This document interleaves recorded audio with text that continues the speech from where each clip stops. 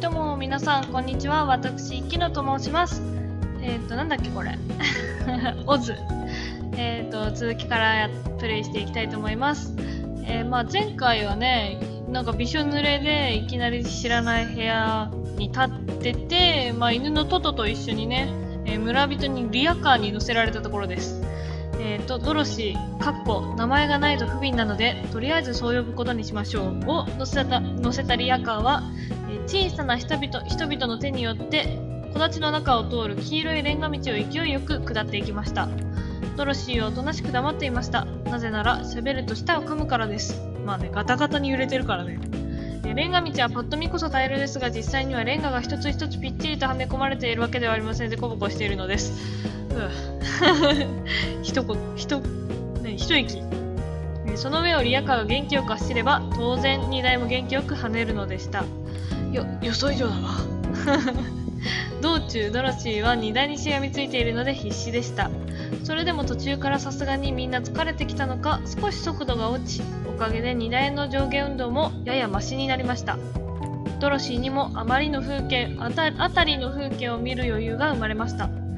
えー、黄色いレンガ道を下り木立のトンネルを抜けると、えー、視界いっぱいに畑が見えましたおおそこは緩やかな、えー、丘陵地帯かな、えー、穏やかに波打つ大地一面に畑が広がっています。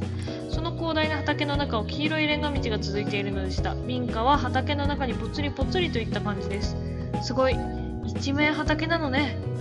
ドロシーはまずその広さに圧倒されました。けれどすぐにでもと首を傾けんかしげます。ずいぶん荒れてるみたい？おーなんかね前回から、まあ、ちょっとねなんだろう。いた屋敷の周りがなんか枯れ木ばっかりでなんかみどなんだろう生気を感じないみたいな。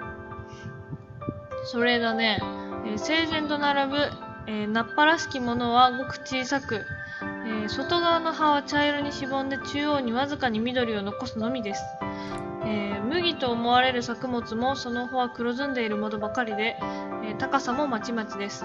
それどころか放置され作物の植わってい馬植わん？植わっていない畑もたくさんありました。ドロシーは空を見上げました。空は青く爽やかな風が吹いて白い雲がゆっくりと流れています。太陽は穏やかな日差しを大地に投げかけています。この気候でこんなに枯れるは枯れているなんて。そう思ってさっきの館の前提を思い出しました。そういえばあそこもまるで冬が来たみたいに枯れてた。本当なら今の時期はもっとびっしり麦麦やらトウモロコシやらが育っているんですけど、えー、リアカーの脇を、えー、搬送している青年が言いました。ドロシーがいぶかしげな顔でキョロキョロしていることに気がついたようです。この辺りは魔女の館に近いもんだから特にひどくって。ん？魔女の館に近いから？どういうことだろう？とドロシーは思いましたが走りながら話せるのも話せるのも悪い話させるのも悪いのでその疑問は後に取っておくことにしました。えやがてリアカーはレンガ道を外れ、え枯れた畑を抜けて広場のようなところへ運ばれていきました。場所が変わるよ。おおすごい選挙みたい広場には十数人の小さな人々が待っていて何やら小さな縁談のようなものが用意されていました、えー、縁談の側面には目隠しの赤い布が巻かれその布の端から木箱が見え見え隠れしていますどうやら急ごしらえの縁談のようですね。えーと、その段の上に椅子が一脚、でんと置いてありました。リボンも雑。椅子といってもさっきの暗い部屋、屋敷で見たような立派なものではありません。明らかに誰かの家の食堂から持ってきました。という感じの椅子です。そして演壇の端寄りに、え、1台のスタンドマイクが用意されていました。ささ、ドロシー様、降りて降りてえ？あ、うん。なんだ、何が何だかわからないまま、ドロシーはリアカーの荷台から降ろされました。ささ、ドロシー様、上がって上がって。え、あ、うん？そしてなんだ、何が何だかわからないまま、壇上に上げられ、椅子に座らせられたのでした。ドロシーには自分の置かれている状況がさっぱりわかりません。えー、自分の名前もどこがどこかもわからないどころか、あここがどこかもわからないどころか今自分が何に巻き込まれているのかもよくわかりませんただ確実に言えるのはさ寒い誰も誰もタオルを持ってきてくれなかったんだね、えー、濡れた体がいよいよ本格的に冷えてきたということでした。リアカーは風を切って走ってきましたからね。は早く着替えたい。そんなドロシーの切実な思いはさておきさて置いちゃうんだ。彼女が席に座ると演壇はたくさんの人で囲まれました。えーと、さっき館にドロシーを迎えに来た人たちの顔も見えます。リアカーと一緒に走ってきた面々は顔を蒸気させて、えー、息を切らしているのですぐに分かりました、えー、ドロシーに向かって手を振っている人もいればなぜか手を合わせて拝んでいる人もいます。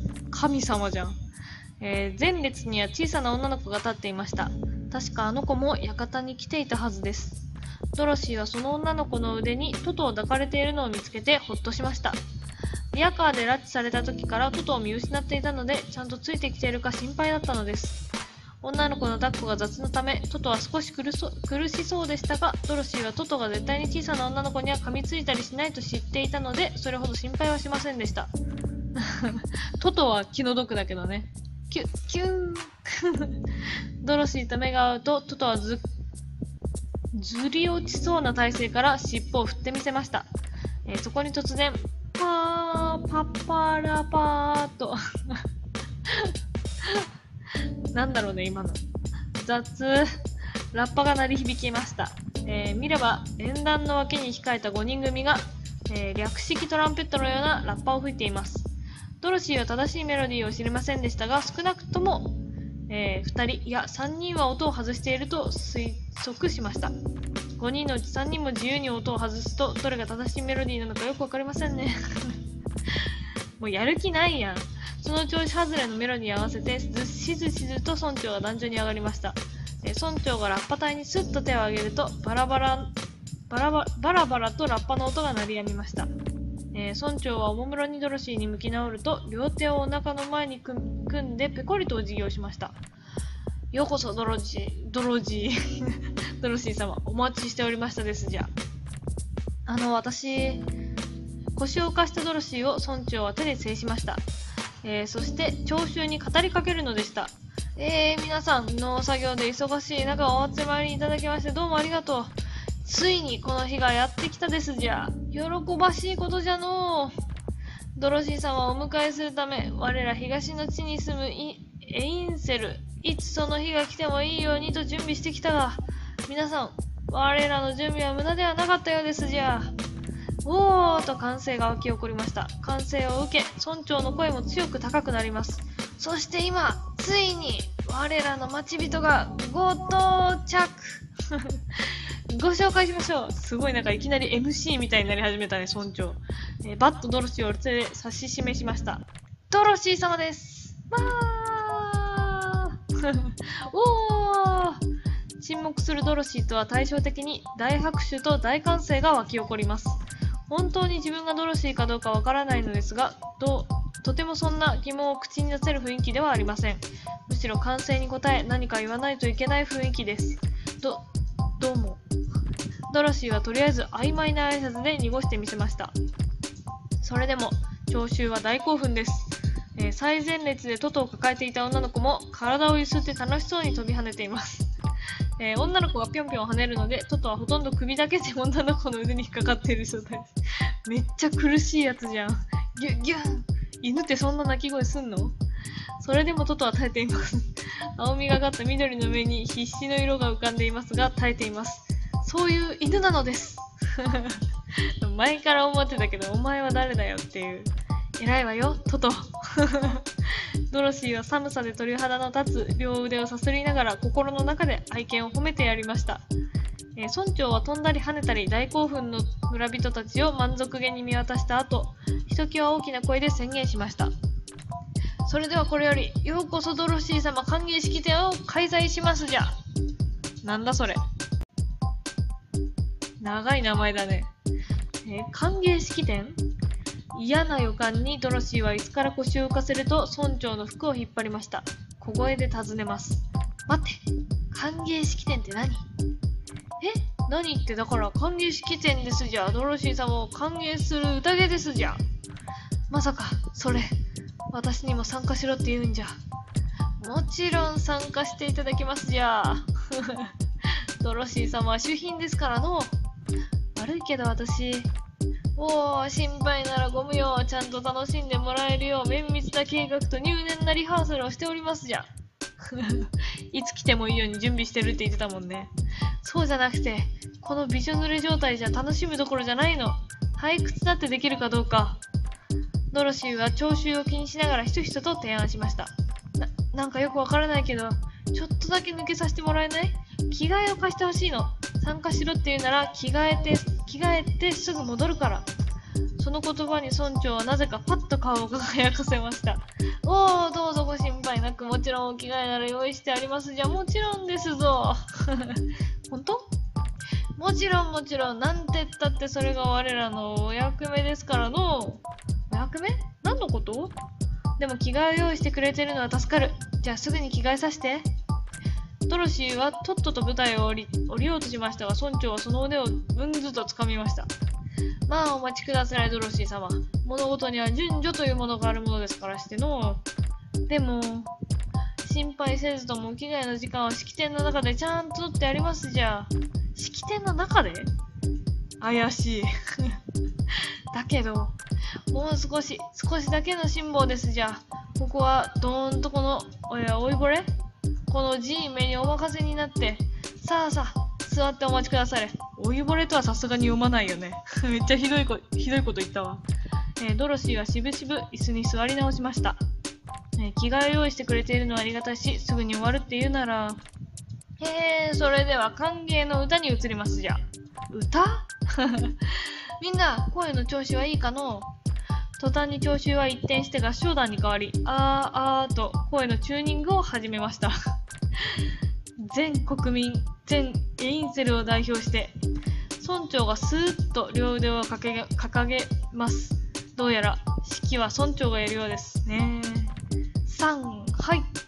あー、金色の神の娘ドロシーようこそ世界へ我らが救世主女神の娘ごめんね、すごいね。なんか、なんか音程がわからなすぎて飛ばします。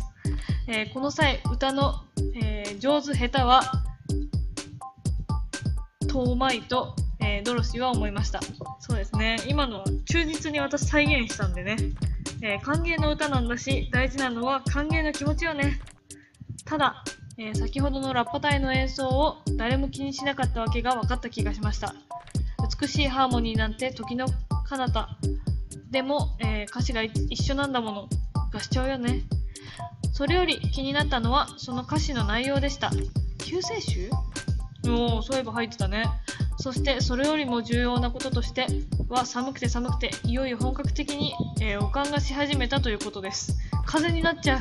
風邪ひいちゃう。何でもいいから早く終わって。えー、リフレインらしきものが終わり拍手が起きました。えー、全員がコーラス隊でかつ聴衆なのでみんな自分で自分に手を叩いています。ドロシーも冷えた手でペチペチと拍手を送りました。いかがでしたか、ドロシー様。す、素晴らしかったわ。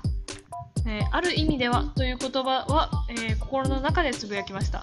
きっと一生忘れないと思う。いや、すごい、今、村長になっちゃった。えー、それは本心です。え寒さに震えて聞いたこの衝撃的な合唱はそうそう忘れられるものではありません。そうですか。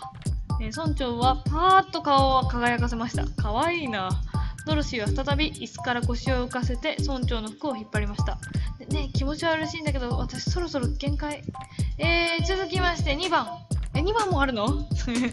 あ、4番までありますじゃん。一気に歌えよ。いいよ、歌はもういいよ。十分堪能したわ。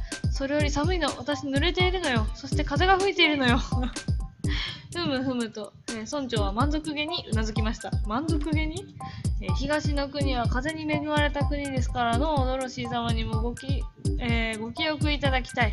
えこの畑を渡る風こそが、え女神様からの忘れられ その最大の恩恵が今、私のから太陽を奪っているのよ。お願いだから今すぐ着替えさせて。歌の続きは後でちゃんと聞くから。えしかし、ええ村長は眉毛で隠れがちな目に、えー決意をにじませて首を横に振りました。それはなりませんと、ドロシー様のお召し替えはこの式典最大のハイライト。ハイライトを盛り上げるためには、それまでのにゃにゃにゃにゃにゃにゃ 勇気がなくなっちゃったよ。引っ張って引っ張って引っ張ってじらしてじらしてじらして一気に解放ですじゃあ。なんなのこいつ。もうだんだんうざくなってきたわ。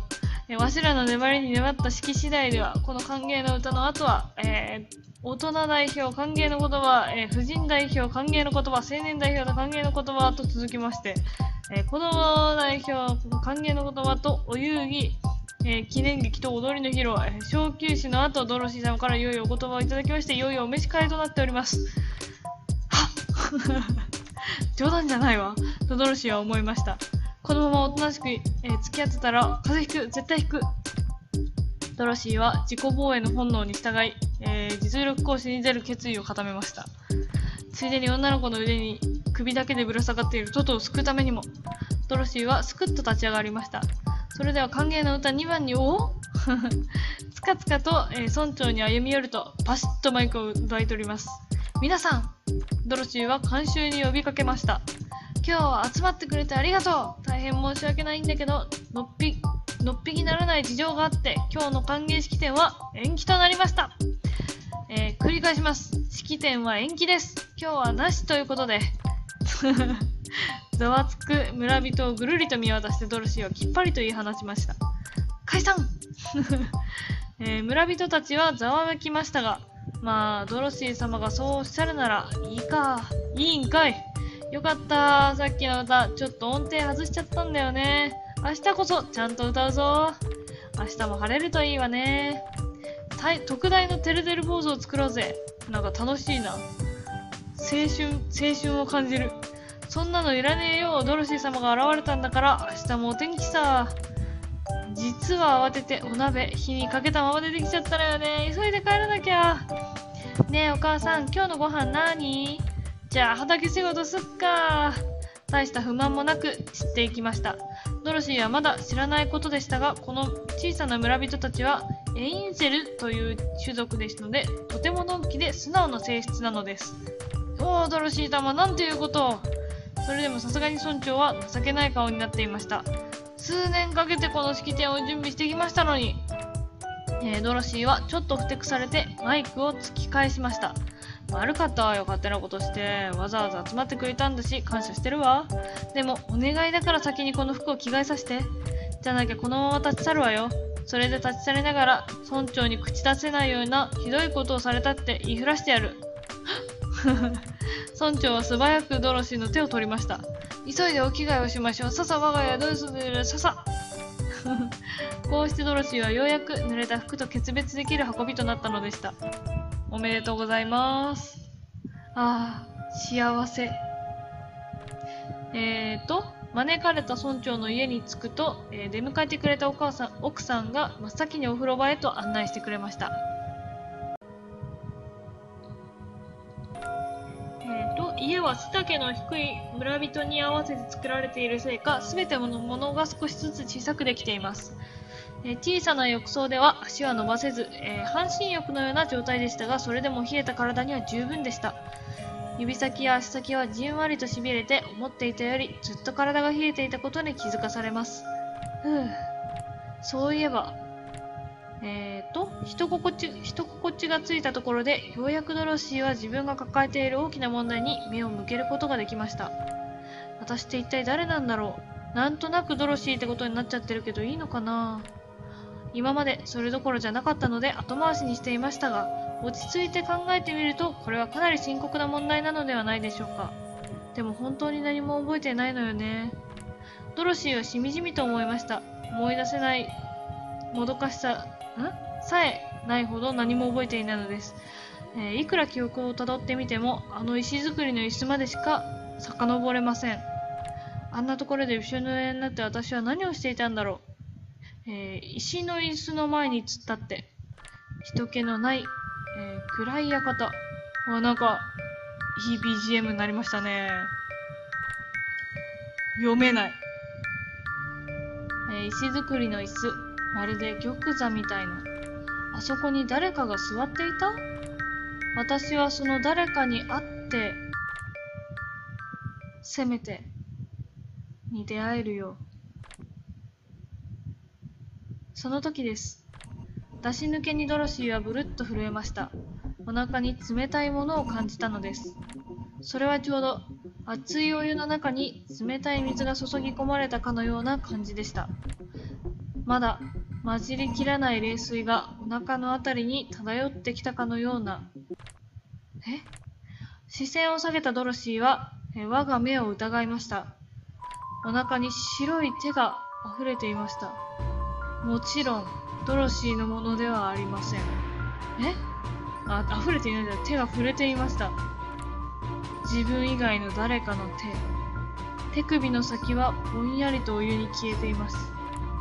ぞろりと白い手がドロシーのお腹を這いました。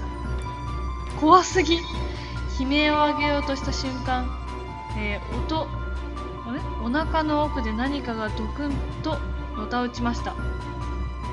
同時に猛烈な吐き気を覚えます。何か、何かがせり上がって喉を通って出てこようとしている。私の中から。ドロシーはとっさに体を折り、口を引き結んで、えー顔をお湯に突っ込みました。ダメ。息をしてはダメ。口を開けてはダメ。出てきてしまう。ええ続きまで行きましょう。ドロシー様？あ、お風呂場のついたての向こうから女性の声が聞こえた瞬間、ドロシーは我に返りました。途端、息ができないことに気づき、慌ててお湯から顔を上げました。どうかなさいました？なんだか大きな水音が。あ、この声は村長の奥さんです。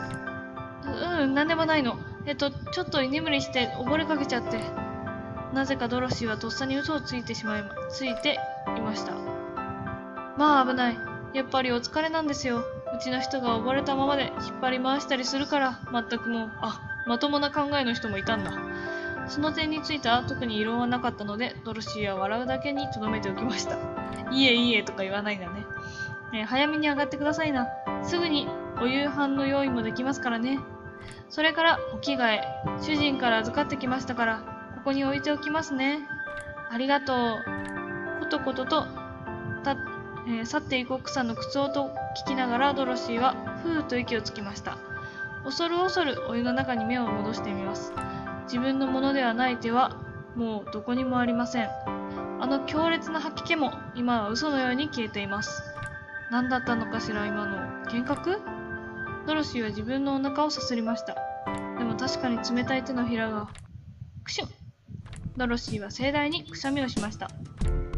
あれが幻覚だったのか、えー正しい幽霊だったのかはわかりませんが、とにかくお湯が冷え切ってしまったことだけは確かのようでした。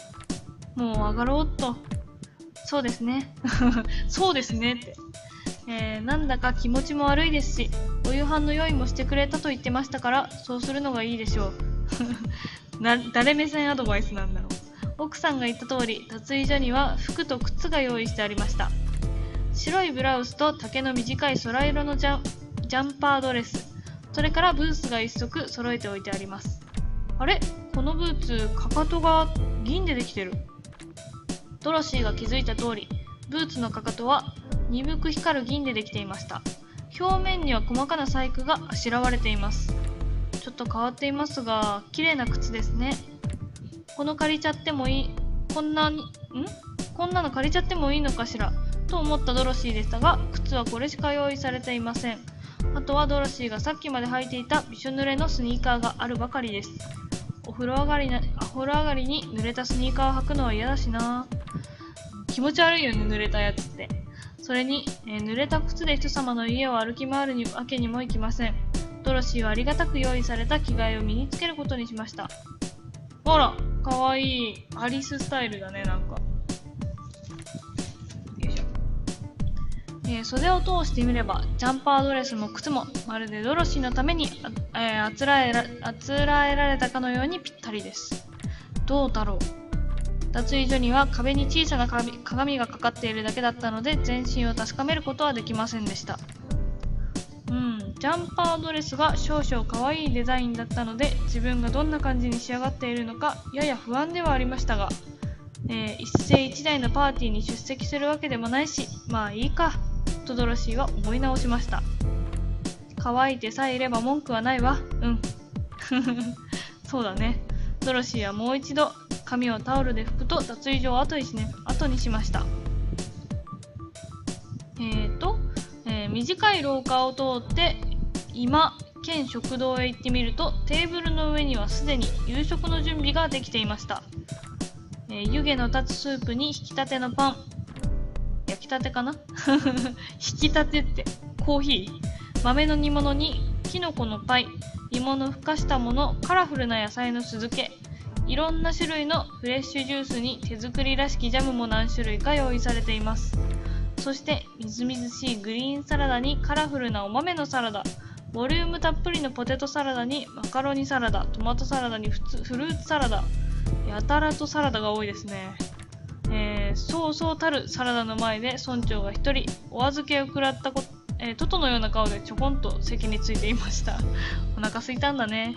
お風呂ありがとう。すごく気持ちよかったわ、えードロシーは湯船の中で見たもののことは黙っておくことにしました、えー食堂へ現れたドロシーの姿を見ると村長はおうおうと簡単の声を上げて椅子から滑り降りました。ああ服も靴もよくお似合いですじゃ。あえー服の揃え色に金の髪がよく生えてサイズもバッチリですな。村長はドロシーの周りをぐるぐると回ってしばらくはしゃいで声を上げていましたがやがて大きなため息をつきました。ああこれを式典でお披露目するはずだったのに。これを？ドロシーは首をねじって借り物の服に、え包まれた自分の姿を見下ろしました。確かに着心地はいいけど披露するようなもの別にきらびやかなドレスじゃなわけじゃないですし。うーんこんな普通の服装でジャーンと出てこられても反応に困るのは村人たちなんじゃない？とドロシーは思ったのでした。確かに。いやいやまあ服はそうなんですけど物もようやく気が済んだのか村長はドロシーにも椅子を進めて座り直しました。見覚えのある椅子です。えー演壇の上の椅子と同じものですね。どうやらあの椅子は村長の家から貸し出されたもののようです、えー服は私どもがあつらえたものですがその靴は特別なものですからの特別って？その銀のかかとの靴は魔法の靴なのですよ、ま、魔法の靴？ドロシーは首をねじって机の下の自分の足を覗き込みました。これが？確かにちょっと変わったデザインはしていますがキラキラしているわけでもピカピカしているわけでもありませんしピンときません。それに魔法ってそんなメルヘンな、えーこの靴には魔法がかかってるってこと？そういう話ですの。どういう魔法？さあ私どもは靴を預かっているだけですからの。詳しいところは知りませんのじゃ。預かっている？えードロシーが聞き返した時村長の奥さんが他のこ、えーほかほかと湯気のた湯気の昇るスープを運んできました。さあさあ具だくさんのとろーりスープが出来上がりましたよ。あらまあドロシー様その服と靴とてもよくお似合いですことをあありがとう。さあお腹が空いているでしょどうぞ先に召し上がっててくださいね。私はもうすぐ焼き上がるポテトとキッシュを見てこなくちゃ。うわあキッシュ大好き。奥さんはスープを食卓に並べるとコロコロした体を揺らして台所へと戻っていきました。